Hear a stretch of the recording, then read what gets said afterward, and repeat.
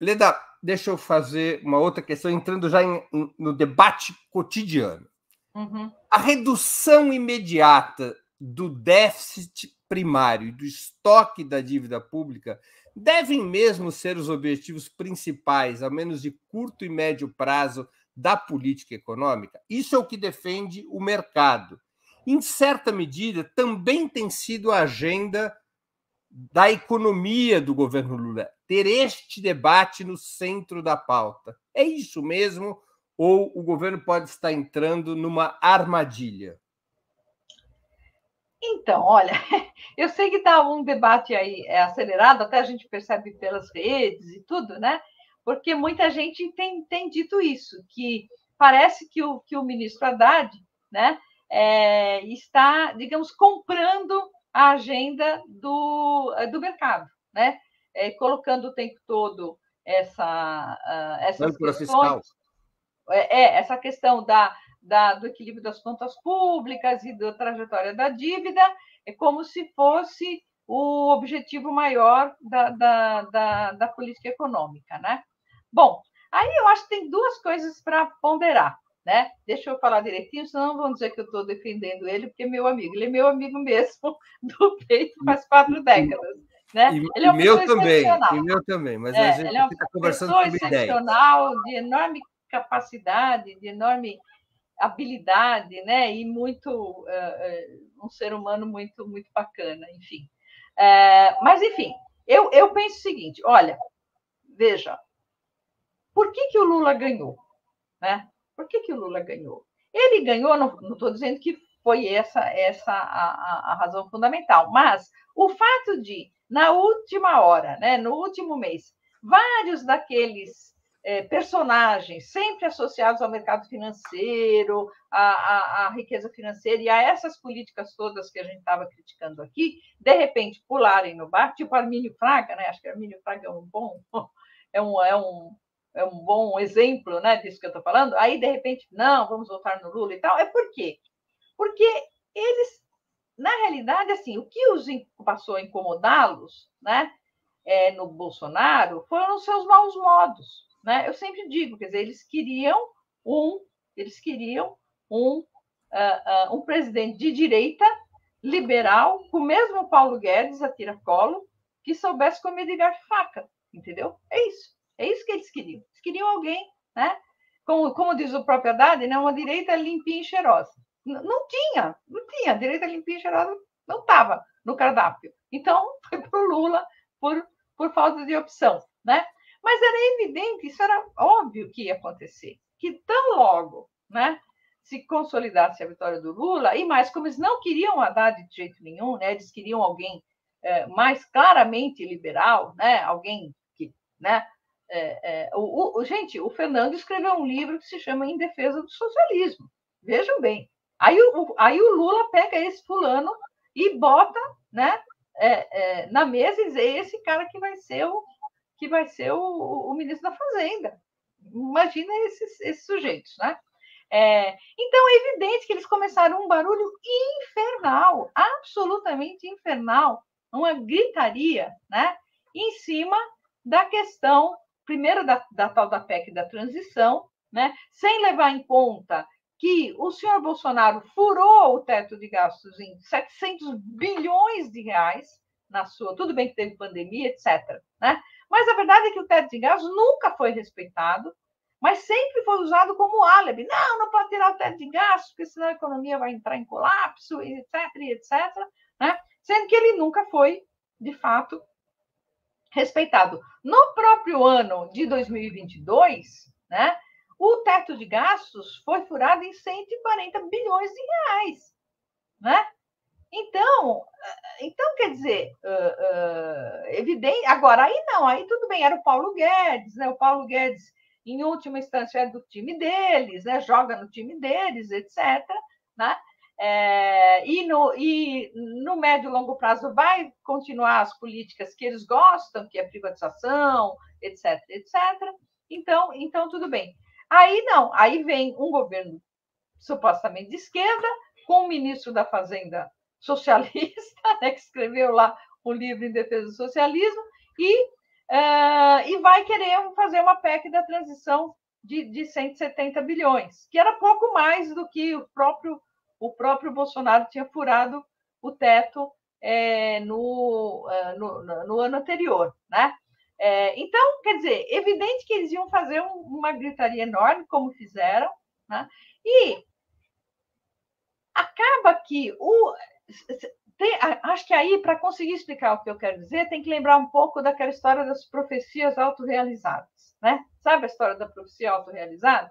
Então, por exemplo, se você diz que sai um boato no mercado aí que, o, que um banco X vai quebrar, mesmo que ele tenha os fundamentos mais bem assentados do mundo, ele quebra. Ele quebra, porque aí vai todo mundo querer tirar os seus recursos de lá, né? De uma hora ao mesmo tempo, de uma vez só, quebra o banco, porque é do negócio bancário que ele não tenha, né, em nenhum momento, todos os recursos disponíveis ali que ele recebeu como depósitos.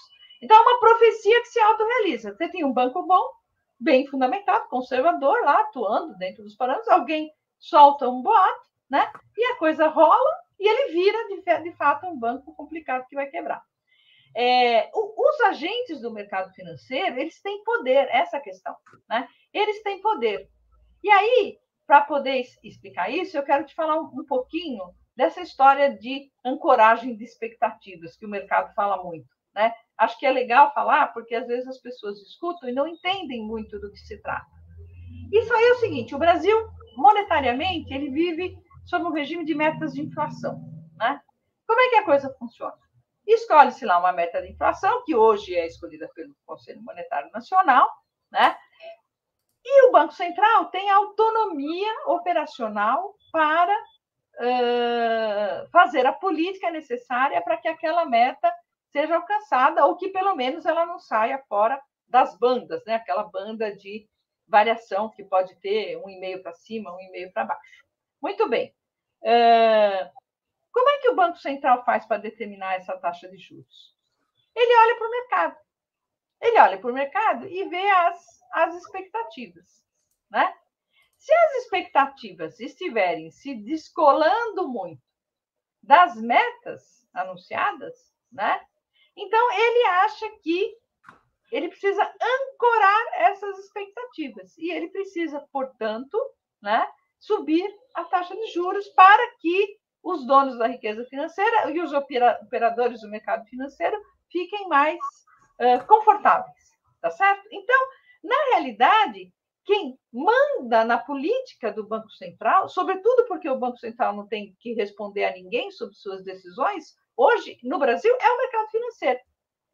Né? É diferente, eu estava ouvindo uh, uh, há pouco tempo é, uns, uh, umas lives e umas, uh, uns podcasts da, da economista Mônica De Bolle, que mora nos Estados Unidos, é uma grande pesquisadora, brilhante pesquisadora, e ela estava dizendo: olha, nos Estados Unidos, né, tem autonomia, autonomia operacional, só que quem manda no, na, no Federal Reserve é o Tesouro dos Estados Unidos, né?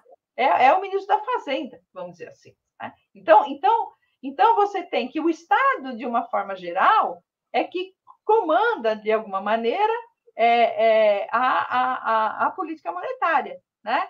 E, e, uh, e, com isso, faz com que os agentes reajam de uma forma ou de outra. Né? E aqui no Brasil é o contrário. No Brasil é o contrário. O tal do modelo que eles usam para uh, determinar qual, qual, qual seria a, a, a taxa de juros adequada, né? É um modelo que tem o seu ponto principal nas expectativas. Então, o mercado conduz o Banco Central. Então, veja, um governo de esquerda que assume nessas circunstâncias, com a má vontade tremenda do mercado é, em relação a ele, né? tendo o poder de desancorar expectativas, inclusive politicamente, fazer isso. Né? Então, minimamente, né, um, um ministro da Fazenda tem que, de alguma forma, responder a isso.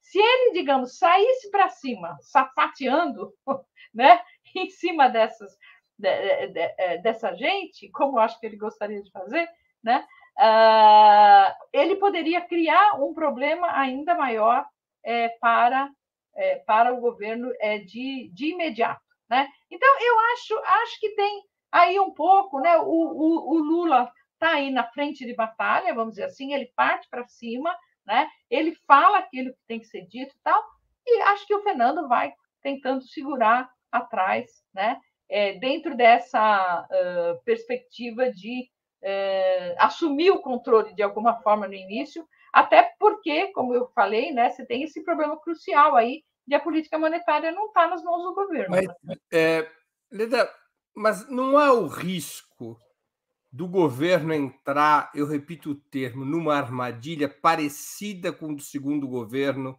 de Dilma Rousseff? O governo está com a política monetária congelada, porque o Banco Central é que a determina. Se o governo começar a fazer excessivas concessões no fiscal para tentar acalmar o mercado e reduzir de uma maneira é, apressada o déficit primário, não corre o risco do governo começar a entrar numa situação em que ele não é, ele perde capacidade de entrega para sua base social e a corrosão política pode isolar o presidente Lula, parecido com o que ocorreu no segundo Entendi. governo de Dilma Rousseff, quando ela indica Joaquim Levy, faz concessões ao mercado e o que ela assiste foi a tempestade política que se criou?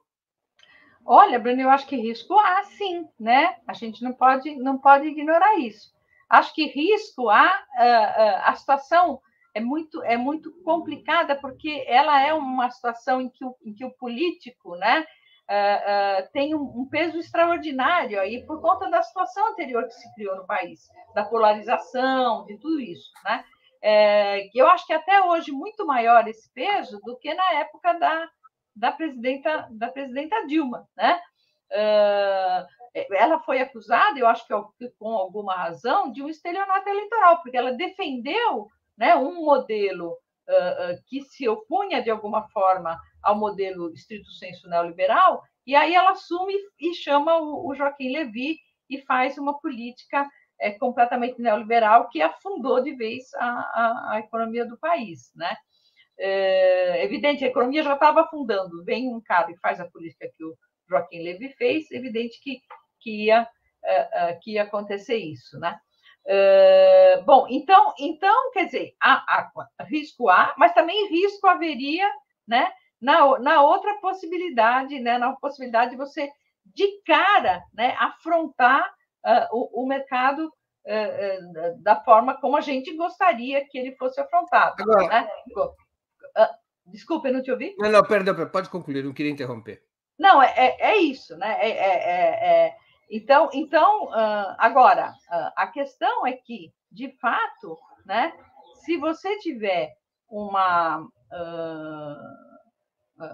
porque, porque a questão da dívida, veja, é, a questão da dívida é a seguinte: a nossa relação dívida-PIB, ela não é alta, né?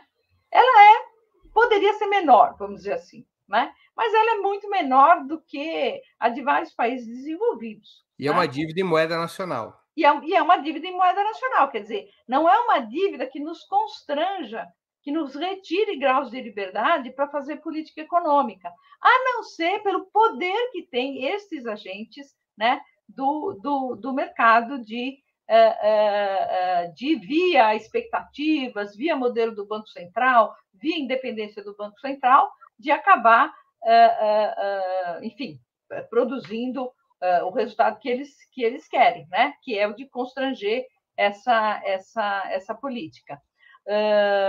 Então, agora, então, eu acho que aos poucos né, tem que se demonstrando, e eu acho que, de uma certa forma, essa estratégia combinada, eu não sei se é combinado ou não, mas parece, né, entre o Lula e o Fernando, né, é, algum resultado está dando. Os caras já estão falando que, ah, quem sabe, é, dos próprios é, representantes aí de importantes instituições do mercado financeiro é, já falaram que essa meta de inflação é inexequível, que é um absurdo que ela se mantenha, né, já tem gente aceitando que é, não, quem sabe com esse juro também não dá e tal. Então, quer dizer, eu acho que está tendo uma, uma, ah, uma pesada de mão política por parte do presidente Lula contra essa situação, para poder ganhar graus de liberdade para atuar, né? E o Fernando está ali um pouco de bombeiro, né, apagando incêndio, mas, né, como diz o Nassif, ainda não está muito claro, o Luiz Nassif, né? não está muito claro a, a estratégia aí, qual que é.